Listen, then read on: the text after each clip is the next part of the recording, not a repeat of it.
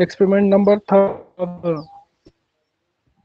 deciding the capacity acid neutralizing capacity acid neutralizing capacity of the drugs. Means it is act as antacid definitely. Because antacid is act as as a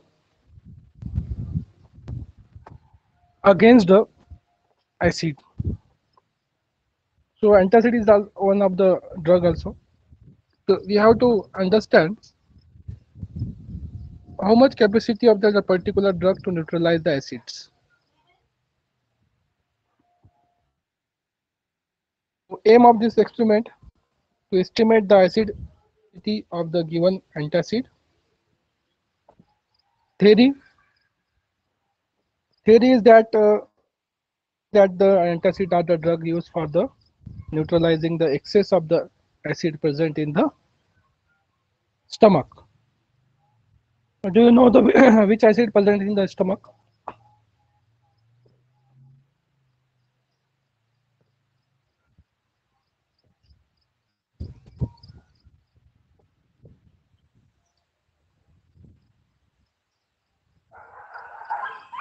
कौन सा acid stomach में present होता है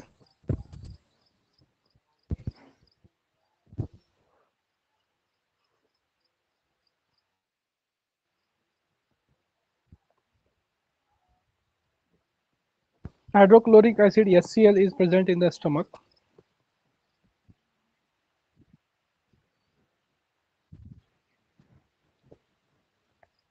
next part is the requirements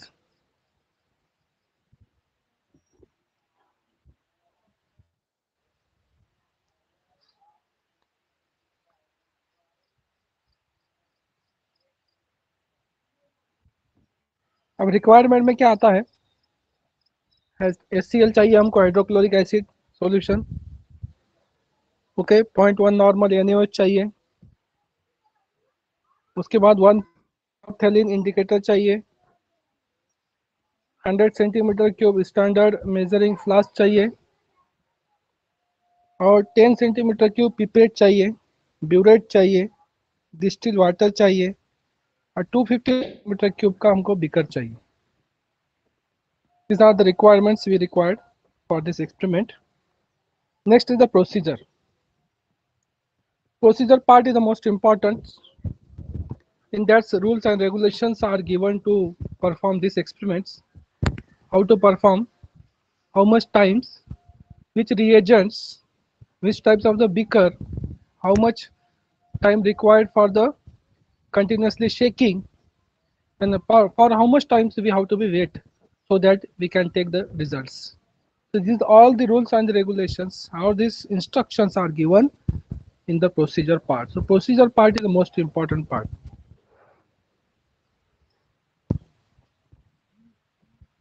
So in this part firstly take the 10 centimeter cube means 10 ml of the one normal SCl solution in the standard measuring flask.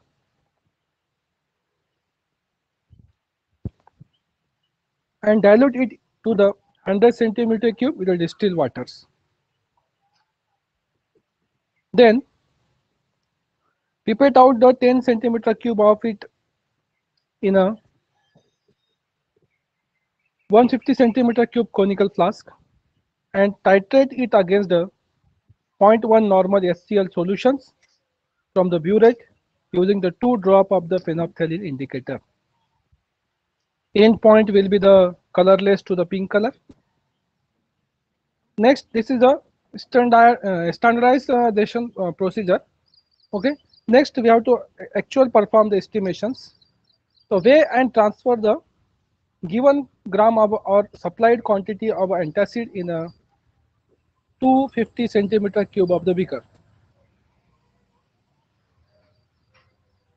Add 50 centimeter cube of distilled water and 10 centimeter cube of standard SCl solution to it. Warm and stir to dissolve the given acids. Cool it and transfer the content into the beaker. 200 centimeter cube standard measuring flask and dilute with the distilled water.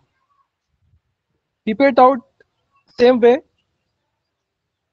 keep it out the 10 centimeter cube 10 ml of it in the conical flask and titrate it against the 0.1 normal NaOH.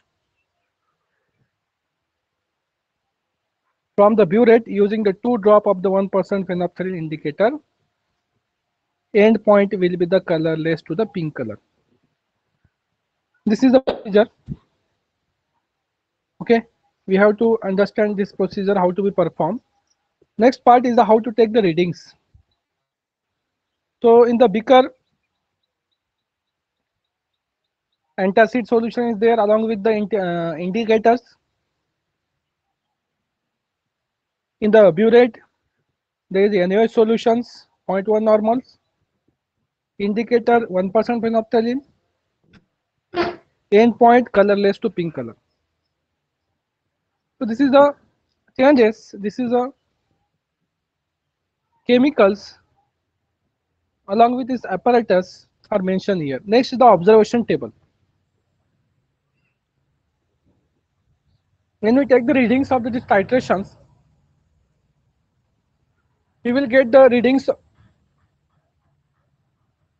Okay, initially all the zeros, final 6.4, 6.4, 6.4. Okay, difference is the 6.4. So we are taking the CBR here and CBR value is used for the calculation purpose. So in the calculation, we know that the 10 centimeter cube of the dilute HCl solution required that dash centimeter cube of 0.1 normal NaOH solution. So we have to find out the value of, okay. So we know that the value of X is 10.5. Then the 0.1 normality 10 is 10. So normality of the dilute HCl solution M is 0.105 normal. Normality of given HCl solution, we know the molarity. If you multiply by 10, molarity is 0.105. Multiply by 10, we will get the normality of the given solution, That is the 1.05 normal. Then the amount of HCl added in the terms of the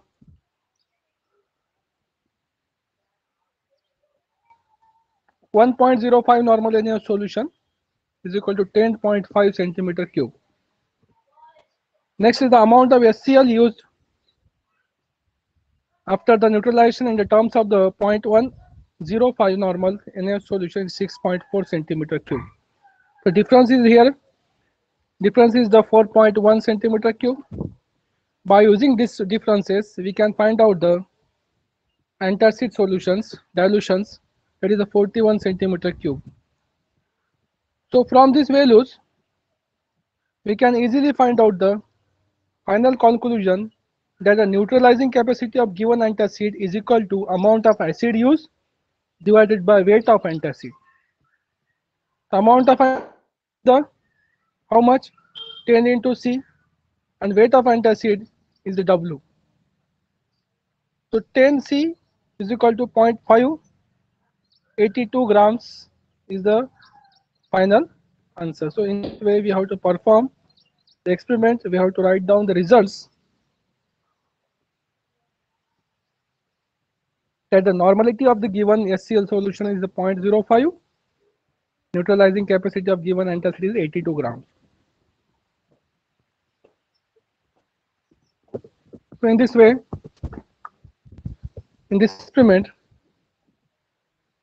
we have to do the all these things. Next is the next experiment, experiment number four, to separate the component of neutralizing pigments by paper chromatography. So you know that the, what is the chromatography? Chromatography is the technique used for the separation okay? So in this way here also we are going to perform the separation methods. In these separation methods purpose we use here the pigments. So here are the pigments pigments we are taking like a chlorophyll having the green color pigments. So we have a slide. Okay on the slide slide gels may be the silica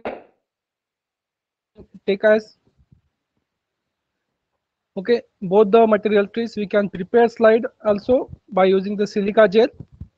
Or they are ready-made slider also so we use this ready-made slide. On the slide bottom we put the difference. We left the some space about one centimeter from the bottoms. Centimeter space marked there on this slide okay? And from that one centimeter mark we have of that particular pigments. So pigments are prepared and dissolving in the acetone and this drops along with the pigments. Pigments we use in the experiment okay use for the chromatography purpose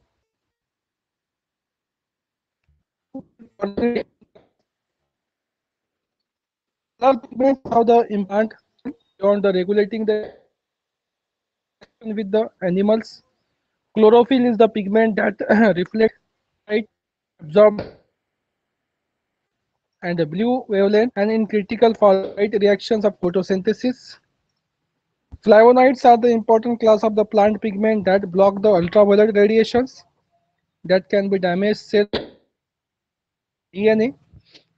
Many flavonoids, including the anthocyanins, have the role in the chemical